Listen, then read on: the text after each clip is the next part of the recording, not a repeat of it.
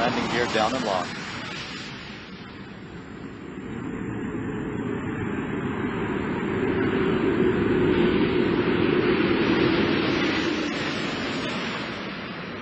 Main gear touchdown.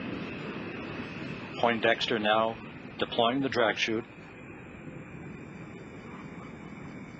Nose gear touchdown. Atlantis rolling out on runway 15 at the Kennedy Space Center, wrapping up a 5.3 million mile mission to expand the global village of space. Dan Tani, home after 120 days in orbit.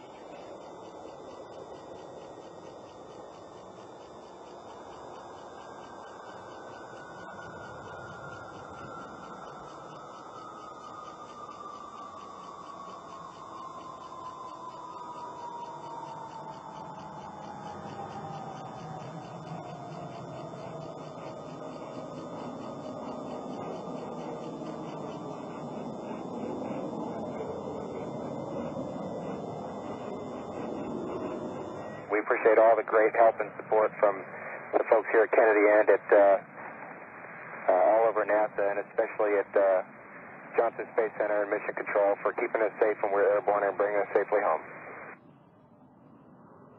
We really appreciate those words, Steve, and uh, we'll be with you on 5-3 when you get there.